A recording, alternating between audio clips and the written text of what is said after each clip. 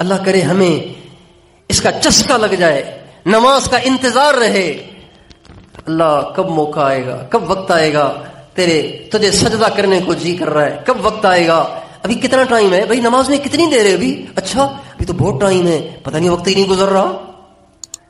अभी तो हाल ये है कि जब अजान सुनते यार, अभी तो नमाज़ पढ़ के आए थे, फिर अजान हो गई।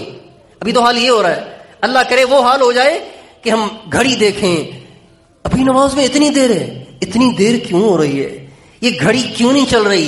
इस घड़ी को क्या हो गया है? ये क्यों नहीं तेज चल रही? ताकि नमाज़ का वक्त आए और जाके अपना माथा अपने मालिक के कदमों में रखो। इजामा दा दाई कुम कुम तो मुसरन मुजीबन मौलन जल्ल लई सलहू मिसलू। अल्लाह, जब तेरा पुकारने वाला मुझे पुकारता है, मैं बेकरार हो जाता हूँ और भागता हूँ तेरे दर की तरफ़।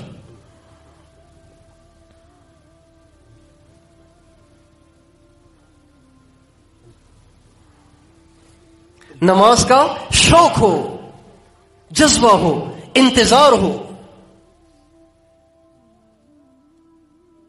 हमारे नबी का इरशाद है, जो आदमी नमाज़ से पहले आकर मस्जिद में, नमाज़ के इंतज़ार में बैठ जाता है, उसको बैठा हुआ है, कुछ नहीं कर रहा, ना कुरान पढ़ रहा है, ना ज़िक्र कर रहा है, ना मुराकबा कर रहा है, ना सुन्नतें पढ़ रहा है, कुछ भी नहीं कर रहा, सिर्फ़ बैठा हुआ है कि अभी पाँच मिनट रहते हैं, फिर नमाज़ पढ़ूँगा।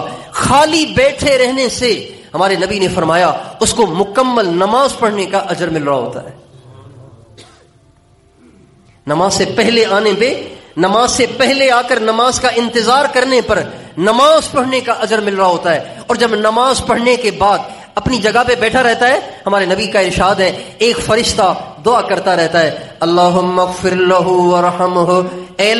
इसके गुनाहों को माफ़ फरमा, इस पे अपनी रहमत को नाजिल फरमा। जो आदमी अपनी नमाज़ पढ़कर अपनी जगह बैठा रहे, वहाँ से उठ के जाए नहीं, वहाँ से उठ के जाए नहीं बैठा हुआ है। नमाज़ के बाद ही दस मिनट बैठा हुआ है, पंद्रह मिनट बैठा हुआ है, ज़िक्र कर रहा है, तिलावत कर रहा है, मुराकबा कर रहा है, या वैसे ही बैठा हुआ है, मस्जिद से बाहर जाने को दिल नहीं कर रहा। बैठा हुआ है। हमारे नबी का इरशाद है, नमाज़ पढ़ने वाला जब तक नमाज़ की जगह बैठा रहेगा, फरिश्ता उसके लिए बख्शिश की भी दुआ करेगा, रहमत की भी दुआ करेगा।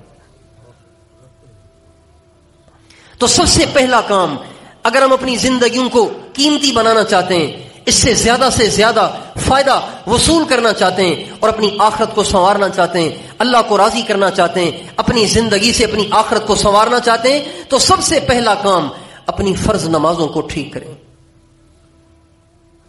अपनी फ़र्ज़ नमाजों में एहतमाम एहतमाम लाने की कोशिश करें। अजान से पहले मस्जिद में आए नहीं तो फिर अजान सुनने के बाद फिर ताखीर मत किया करें। भाई, अजान सुनने के बाद फिर ताखीर मत किया करें। अल्लाह बुला रहा है, अल्लाह बुला रहा है और ये कह रहा है, अल्लाह मियाँ खाना खा रहा हूँ, आ जाता हूँ थोड़ी देर में। अल्लाह मियाँ पानी पी रहा हूँ। अल्लाह मियाँ मैंने पेशाब करना है। वे पेशाब पहले कर लेते, अजान से पहले पेशाब कर लेते। अल्लाह मियाँ मुझे कपड़े बदलने भाई, तुम तो पहले कपड़े बदल देते। अजान हो जाए हला आओ नमाज़ की तरफ़।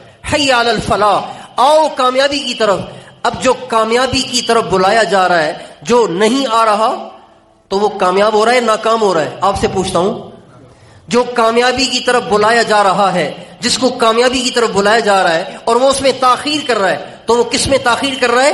कामयाबी में ताखीर कर रहा है। अल्लाह करे, इसका माहौल बन जाए, इसकी फिजा बन जाए। अजान होते ही मस्जिद की तरफ़।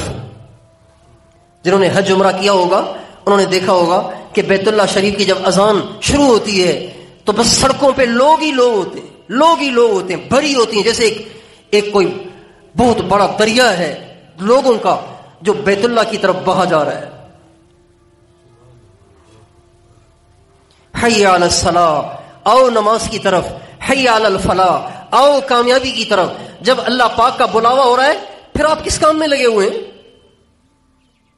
अधूरे छोड़कर, बीच में छोड़कर, चाय का कप लिया हुआ है, होंठों पे रखा हुआ है, अभी एक भी घू, एक ही घूंट लिया है। अल्लाह अकबर की अजान आ गई है। भाइयों, चाय को रख दें और सीधे मस्जिद में आए। अल्लाह देखेगा कि मेरे बंदे ने मेरी हाजिरी के लिए चाय को कुर्बान किया। अल्लाह कितना राज़ी होगा?